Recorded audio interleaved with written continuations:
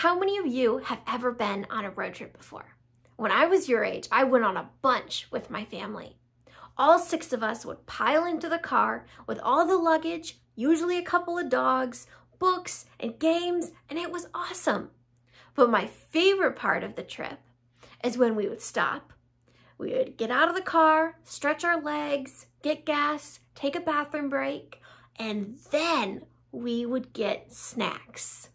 And we each were allowed to pick out our own snack, which was rare in my family. And I would get Nutter Butters, and they were delicious. Just thinking of going on a road trip now makes me want Nutter Butters. In our Bible story today, Jesus was on a road trip. And just like us, he needed to take a break. And he decided to get a drink of water, which is not a very fun road trip snack if you ask me.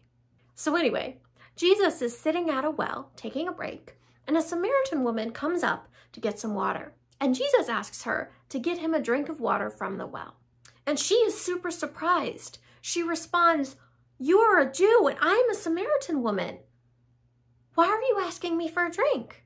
You see, Jews and Samaritans did not get along, and it was common for them to avoid one another, speak to each other. They were from two different backgrounds, nationalities, and belief systems. But Jesus wanted to have a conversation with this woman. In fact, it is the longest recorded private conversation that Jesus has with anyone. And he chose to have it with someone who was so different from him and someone who was considered not normal in his society. We all have different background, nationalities, and belief systems than others. And sometimes we are raised to think that our way is normal or the correct way and to not engage equally with those who are different. But Jesus did not see it that way. He wanted to get to know this woman and share who he was, the Messiah, our Savior. And that is for everyone.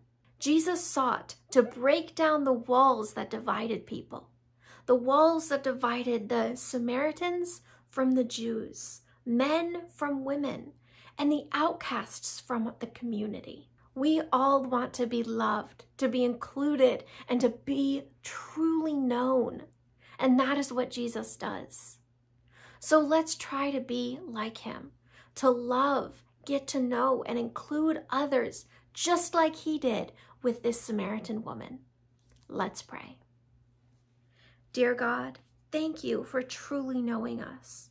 Help us to love, include, and to get to know those who are different from us. Break down any walls in our hearts so that we might be more like Jesus.